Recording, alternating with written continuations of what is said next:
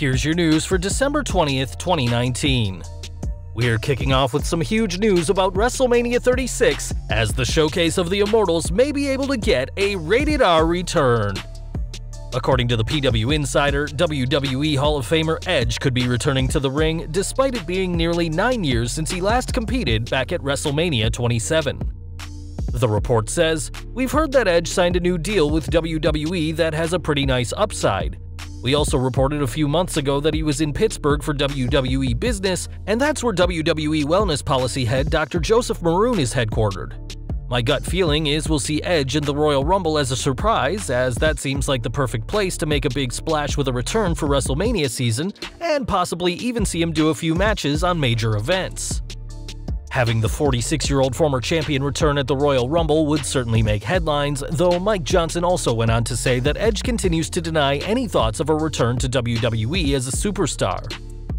It's hard to think that it's been over 8 years since the Ultimate Opportunist last wrestled, and since then, the Rated R superstar has only made a handful of appearances, as well as hosting the Edge and Christian show that totally reeks of awesomeness on the WWE Network. At SmackDown 1000 in October 2018, Edge was on the wrong end of a Becky Lynch verbal tirade, but did spear Elias on the SummerSlam 2019 pre-show, his first offensive move since his retirement, which sparked speculation of an in-ring return. Of course, nothing is set in stone, and the odds of Edge wrestling again are still slim, but to be fair, fans used to say the same about Daniel Bryan, who has proven that anything is possible in the WWE. Love is in the air next in WWE as this Monday, Lana and Bobby Lashley will have their wedding live on Monday Night Raw. According to WWE.com, the plan was for the couple to wait until New Year's, but the pair couldn't wait that long, and will instead tie the knot on the final Raw of the decade. Getting married on Rusev Day no less, the Destroyer Lashley has sent out an invite via tweet to everyone, including Rusev, who has a seat saved for him according to the groom.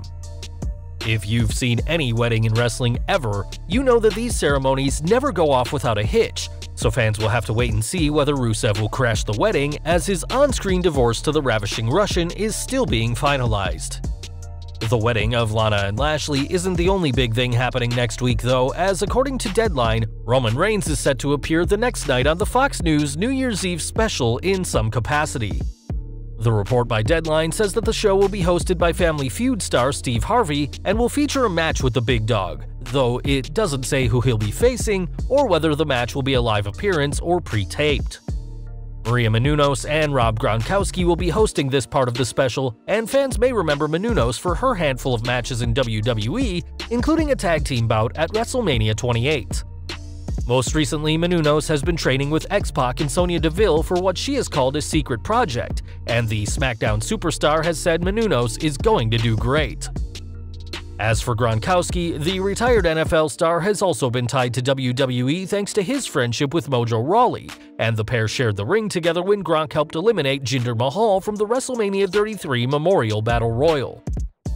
While there have been rumors for a while about Gronkowski having a WWE match, perhaps fans will get some answers when the New Year's Eve on Fox show starts at 8 p.m. Eastern on December 31st. Back to the ring now, as tonight's edition of SmackDown will see the Blue Brands Tag Champions compete in non-title action. On tonight's show, SmackDown Tag Team Champions The New Day will face Intercontinental Champion Shinsuke Nakamura and Cesaro, after defeating the King of Strong Style and the Swiss Superman three weeks ago in a Championship Open challenge. The team of Kofi Kingston and Big E have certainly been busy lately as they not only defeated the Revival to retain their titles in a ladder match at TLC, but also found time to sign new five-year deals with the company. According to WWE, the trio of Kingston, E, and Xavier Woods solidified a pact of identical length and compensation on their contracts to maintain equal status among the team.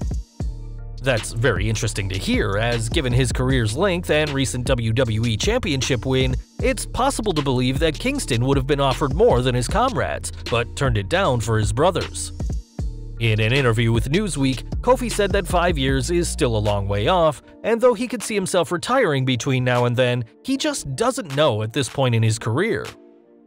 Five years from now, Kofi will have been on WWE TV for 16 years, and in the company for even longer than that, so it's easy to see why the former WWE Champion could see himself hanging up his winged boots for good between now and 2024.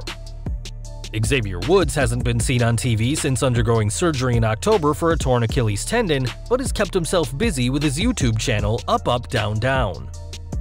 We're looking at All Elite Wrestling next, as after the latest episode of AEW Dark was recorded, a group of babyfaces and a referee laid out Shawn Spears. The normal beatdown though, as the group delivered stunners to the former Perfect 10 and had a beer bash on Stone Cold Steve Austin's birthday, and the show took place in Texas.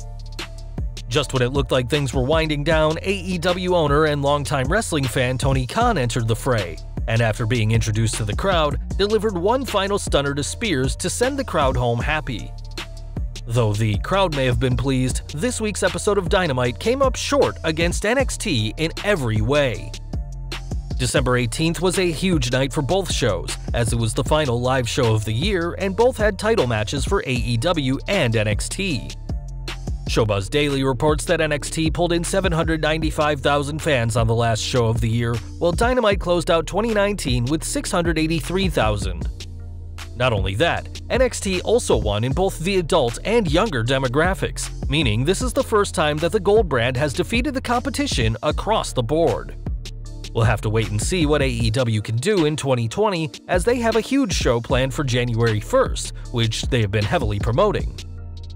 Part of NXT's success this week came thanks to Rhea Ripley, who ended the 416-day reign of Shayna Baszler to capture the Gold brand's Women's Championship.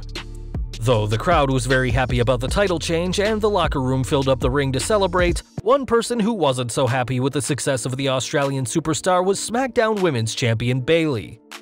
A former NXT Women's Champion in her own right, the former hugger called those celebrating Ripley's win sheep and gave the ominous warning that the two will meet soon.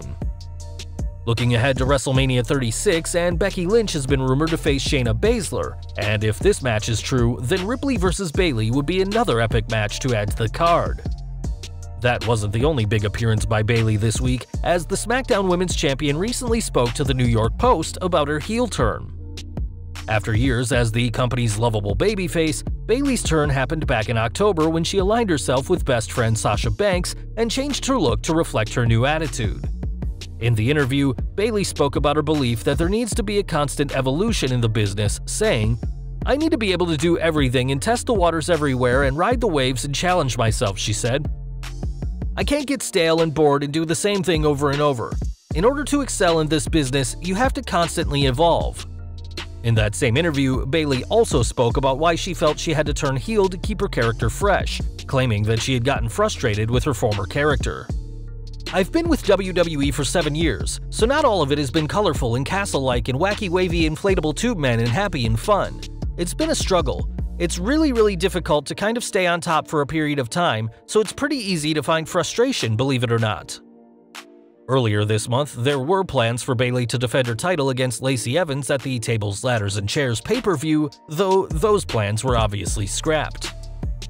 We're looking ahead to next month, next year, and the next decade now, as WWE will host their annual Royal Rumble pay-per-view on January 26th. Though the Rumble matches could include some big names, such as Edge, who we mentioned earlier, recently signed superstar Cain Velasquez is reportedly booked for the show. This news comes courtesy of the Wrestling Observer's Dave Meltzer, though it's currently unclear what Velasquez's role at the event will be. The former UFC star hasn't appeared on WWE TV since losing to Brock Lesnar in just over two minutes at Crown Jewel on October 31st for the Beast's WWE Championship. Cain made his WWE debut on the premiere episode of SmackDown on Fox, shocking the Beast after his championship victory in the main event of the show.